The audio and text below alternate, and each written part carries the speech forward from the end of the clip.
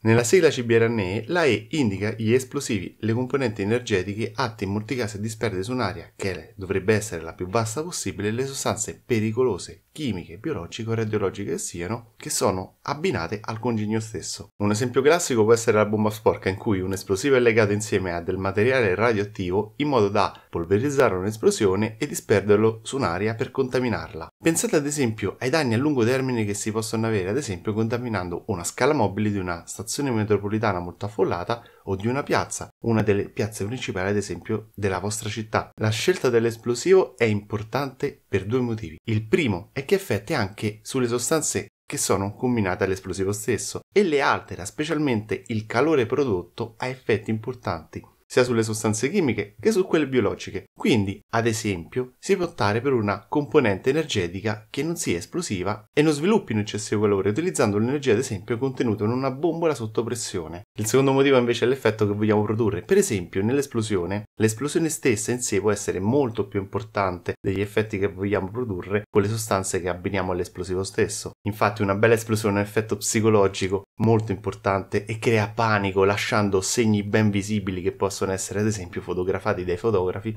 dai giornalisti e finire su ogni giornale o essere diffusi molto efficacemente su internet. Oppure crea dei feriti nell'immediato, il che attrae soprattutto i soccorritori, i curiosi, esponendoli a minacce invisibili, ad esempio le sostanze pericolose che erano abbinate all'esplosivo. Il dato che trovo più interessante è che il 70% dell'uso di queste sostanze pericolose, infatti, è abbinato appunto ad esplosivi. E questo ci porta immediatamente a due considerazioni, a due conclusioni che sono semplici e logiche. La prima è che tutte le vittime di un evento in cui c'è stata un'esplosione vanno considerate contaminate ed è prevista la decontaminazione finché non si esclude il rischio appunto di queste sostanze pericolose che sono spesso invisibili. Questa è una cosa che è molto logica e che ormai viene insegnata da diversi anni sempre più frequentemente in ogni ambito. La seconda è invece perché vedo ancora correre i soccorritori verso i feriti come se fossero all'apertura delle porte nella giornata dei saldi. Ma a lavorare in modo professionale e alla vostra vita ci tenete? C'è il rischio di una bomba sporca e la presenza di sostanze pericolose, ricordate il 70%, ma gli scenari esteri ci insegnano che la bomba sporca spesso è solamente un'esca per colpire i soccorritori. C'è il pericolo sempre più diffuso di una seconda bomba messa lì apposta appositamente per voi. Ma ci possono essere anche persone armate che vi aspettano. Nella strage del Sinai, ricordate, una bomba era stata messa in una moschea e ha dato l'inizio veramente ad una carneficina. E fuori dalla moschea c'erano persone armate che aspettavano i fedeli in fuga e i soccorritori e le ambulanze che sono arrivate a dare soccorso a queste persone. E questi terroristi hanno iniziato a sparare proprio su queste persone in fuga e sulle ambulanze in arrivo. Ma anche nell'attentato del Bataclan hanno aspettato i soccorsi per prenderli di mira attirati appunto dalle esplosioni.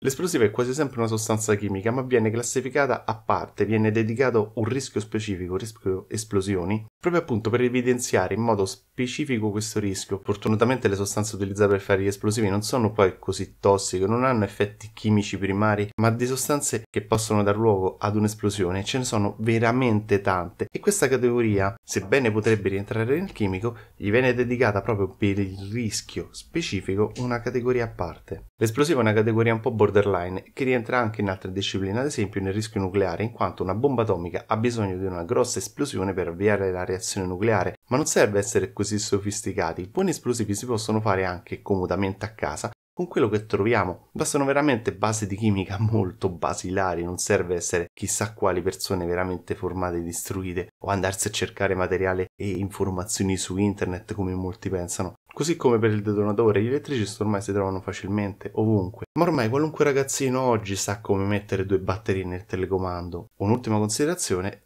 è la forma che l'ordigno può avere. Il famoso una bomber, ma anche gli attentati in Medio Oriente ci hanno dimostrato che possono avere veramente qualunque forma, dai tubetti di maionese agli oggetti di uso più comune, ai motorini bomba, passando per le scarpe e le mutande farcite letteralmente di esplosivo. La cosa ancora più pericolosa è che usano indistintamente uomini, donne e bambini come bombe suicida. Quindi quando si parla di rischi di esplosivi, sia per la facilità di uso, di produzione, sia per la difficoltà nella detection al fine di mitigare questo rischio, dobbiamo lavorare principalmente su tre fattori. Un'ottima capacità di intelligence, ottimi strumenti di detection che devono essere presenti, personale veramente ben addestrato in tutti quei settori dove è probabile un attentato, ad esempio nei varchi d'accesso di aeroporti e stadi, nelle piazze durante le feste e i grandi eventi e nei concerti, infine nelle metropolitane. Dobbiamo iniziare a entrare nell'ottica che serve un grosso investimento economico in formazione e professionalizzazione di tutto quel personale che è messo in prima linea come personale di sicurezza, ad esempio gli steward, i buttafuori, i volontari, il personale sanitario, proprio quel personale su cui oggi si va assurdamente a tagliare, cercando di assumere quello che costa meno, non il più qualificato, del personale che oggi di fatto viene utilizzato alla stregua dei canalini da miniera.